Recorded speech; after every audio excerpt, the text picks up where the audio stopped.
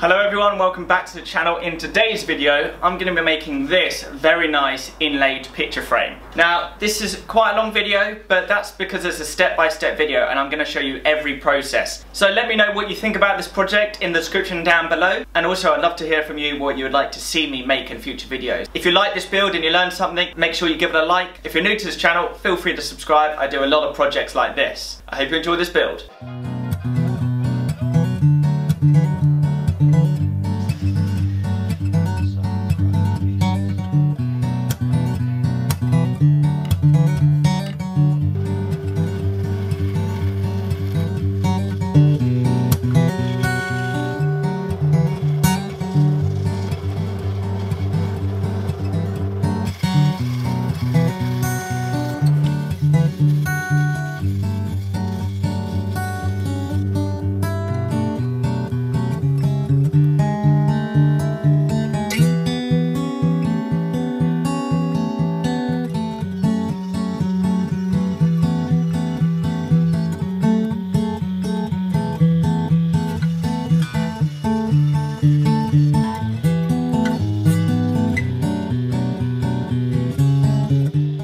So I've just sanded four lovely Ripple Maple veneers to about two and a half, three, just under three mil thick. And the grit I have on the drum sander is 150.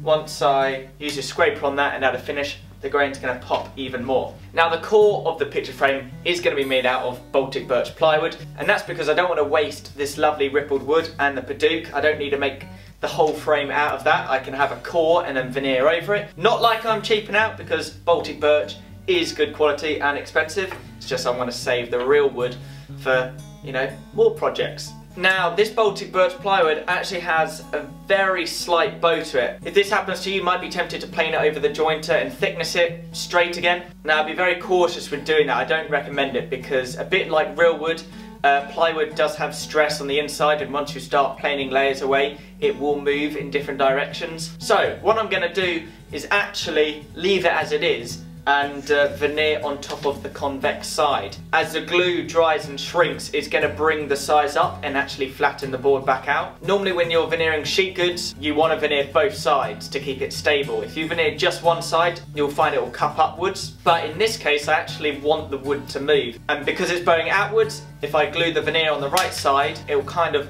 warp the wood back and straighten it up. So I hope that makes sense, hope it was helpful. I'm going to get gluing.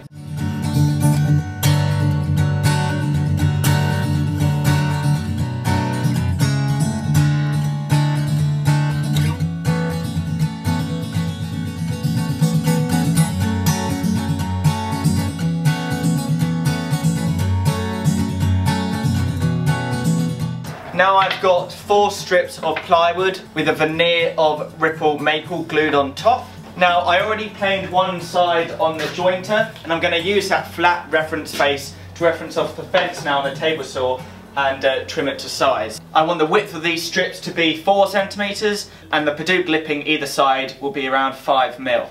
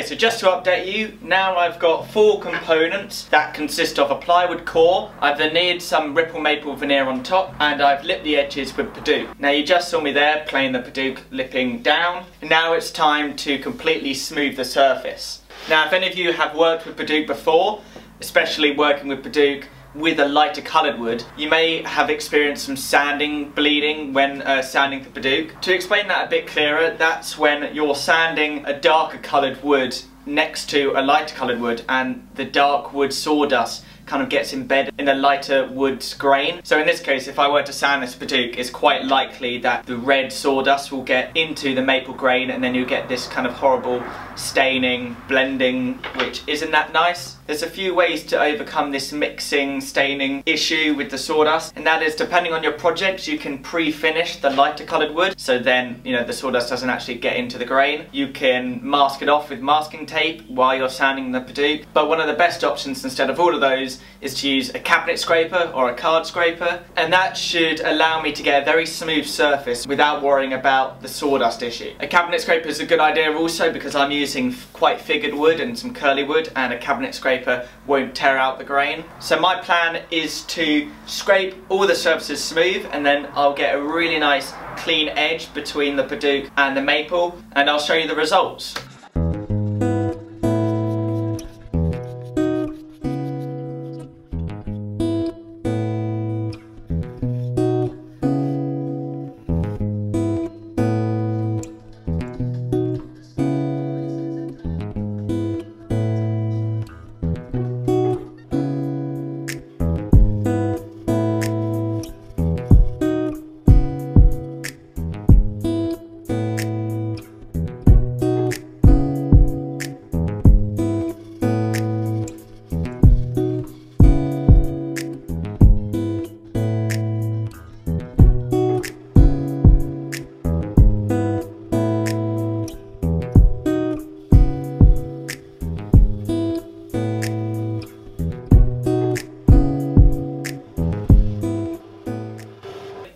More and more excited about this build the more I do onto it. I just sanded a taper onto the strips as you would have seen me there. I raised up one side of the wood with a piece of MDF and then fed it through the drum sander meaning it sanded an angle on it. Now that extra process and time to do the taper, the client might not even notice it but I think it adds a lot to it. It's just such a subtle, you know, taper in towards a picture or a mirror in my case. I think it will look great and it'll just, I think it just adds another dimension to the piece. So now I'm going to route out the slot before I cut the miters because if I did it after I cut the miters then it might tear out the grain and I want those miters to be as clean as possible. Now I'm going to do something slightly different on the router table and that's because I really don't want the grain to tear out at all especially on the show face. If there's any slight tear out when you put the glass against the rebate you're definitely going to see those gaps. So what I've done is I positioned the fence about half a millimetre behind the cutter and I'm going to feed the piece of wood through the wrong way. You're always meant to feed from right to left, and, and I'll encourage you to do that. And the reason you feed from right to left is because you're going against the cutting motion of the bit. If you went with it, then it will grab the wood and pull it into the machine. But the reason I'm feeding it the wrong way is because the cutter is exposed by such a tiny amount, there's not actually enough wood there for the bit to grab onto. I'm only gonna do one pass in reverse just to scribe a line and then I'm gonna move the fence back so I can cut more material and then I'll feed it in the right way but I won't need to worry about tear out because I've already scribed the line with the first pass. So I hope that makes sense. I'm gonna do that now.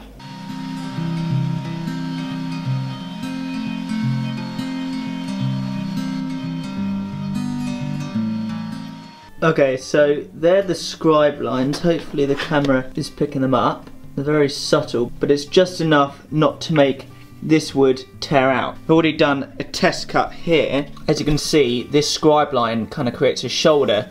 So when I remove this much material, it's not chipping out this face here.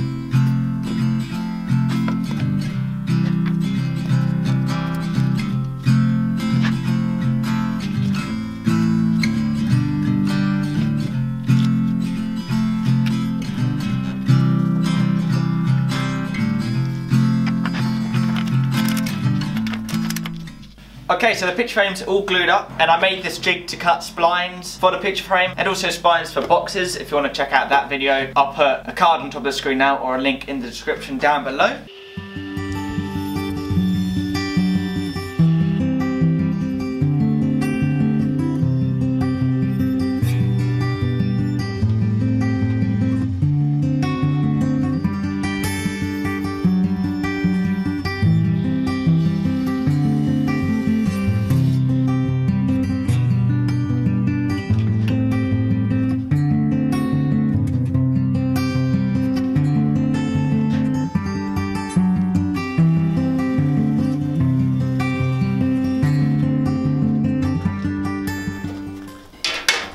I'm going to sand this line down about a quarter of a millimetre each time until it fits just right.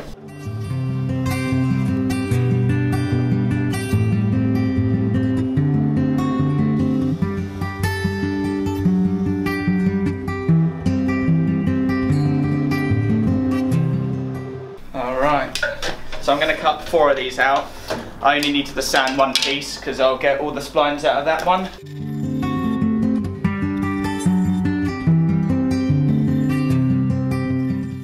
One tip, maybe it's not a tip, precaution I should tell you is when you're working with Padauk, if you put it out in the sun, UV light makes it go brown. If you watched the channel a while ago, I made this picture frame. All the squares are made out of Padauk and look how brown they've got. I still like the picture frame, but it's much less vibrant than this uh, that I just milled up. So Padauk does brown over time, but you can prevent it from browning quicker if you don't, you know, expose it to UV light. Same as Purple Heart as well. The the diamonds are Purple Heart and they've gone the same colour as the Padauk, which is funny and annoying. I'm going to try and get some glue in these holes. It's going to be pretty difficult. I'm mainly going to put a lot of glue on the spline itself. I just want to get it around the edge. It will help seal up any gaps.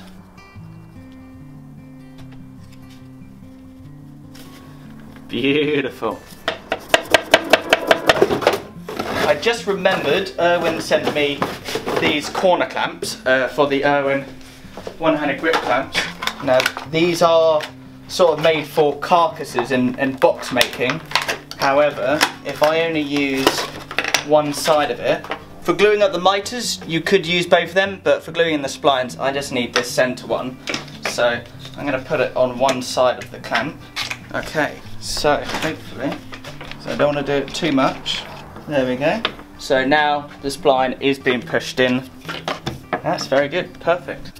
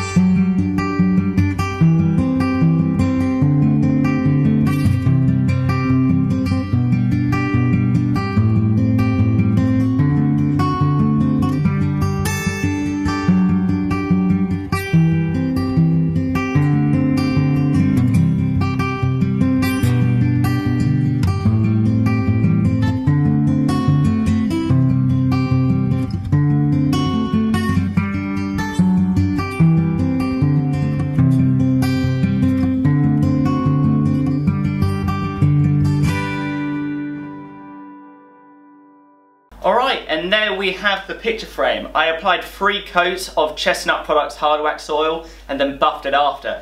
And uh, the Ripple Maple looks absolutely fantastic. The ripples, I hope, I hope the camera can pick it up, but I am in love with this wood and the Padauk obviously looks amazing. I added Padauk splines because I wanted that area to be quite subtle and I wanted all the attention to be on the maple inlay. Obviously when you add a finish on end grain it's darker than the side grain so you can see the splines which look very nice. So yeah, I hope you enjoyed this video. Please share it with your friends, subscribe, like, comment, everything you want to do. I want to thank my patrons for continuously helping support the channel and allowing me to upload two videos every single week. So yeah, thank you for watching this video and I'll see you in a couple of days for the next one.